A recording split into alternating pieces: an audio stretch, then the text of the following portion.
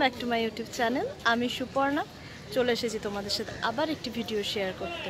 তো নিশ্চয়ই আমার ব্যাকগ্রাউন্ডের পিকচার দেখে বুঝতেই পারছ যে আমি কোথায় এসেছি এখন আর আমি কোথায় যাচ্ছি। যদি দেখতে হয়, তাহলে ভিডিওটি শেষ অবধি থাকো।